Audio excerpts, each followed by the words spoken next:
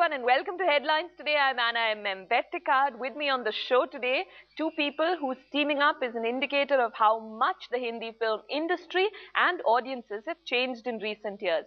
One of India's most commercially successful mainstream actors turned producer, along with the director of his latest production, a film that many people may assume to be an offbeat niche product, but then these days, what's niche, what's offbeat, who knows? Let's ask.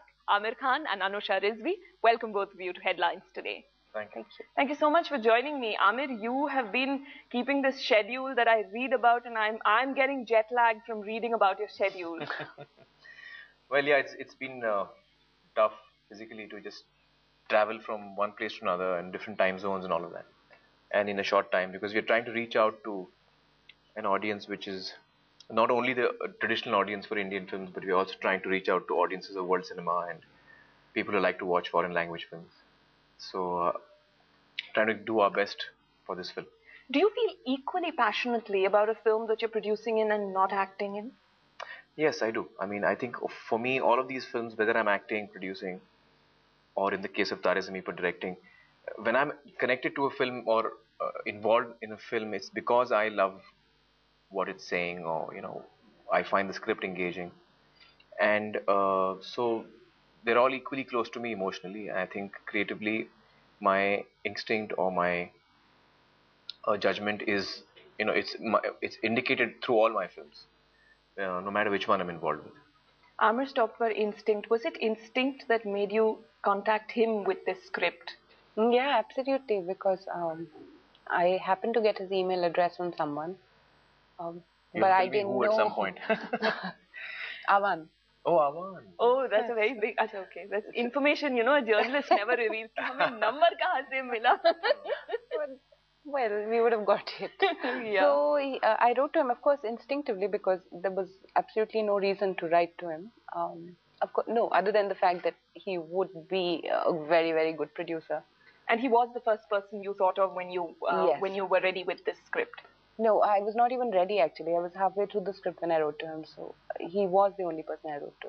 Why did you think that Aamir would be interested in a film like this? I have no idea why, but I did. would you, when you were when you were writing the script, did you consider this a? Did you look at it and say, okay, this is a risky project, but let me contact Aamir because he takes risks? No, uh, I I don't think it's a risky project at all because you can't really judge a value of a project on the basis of risky on the basis of what? Um, it's it's a story that you want to tell, and now if the story is good enough, it will be told. If it's not, it won't be. I don't think risk is involved really. How long did it take for Anusha to convince you um, that this is something you could back? Well, I, I got these emails uh, from Anusha, and uh, at first I thought it was someone who was being really cheeky, because in her email she said that, uh, you know, I have a script that is called The Falling, the working title of Peepli Live was called The Fallen. And it was at the time that I was doing uh, Mangal Pandey The Rising. So I thought someone's being really cheeky. so at first I didn't reply to it. And then I realized that she's from NDTV and she's a journalist. And so I thought that, you know, there's some bona fide person over here. And then I replied to her. And I was interested to know what she had. I don't know why. I just was interested.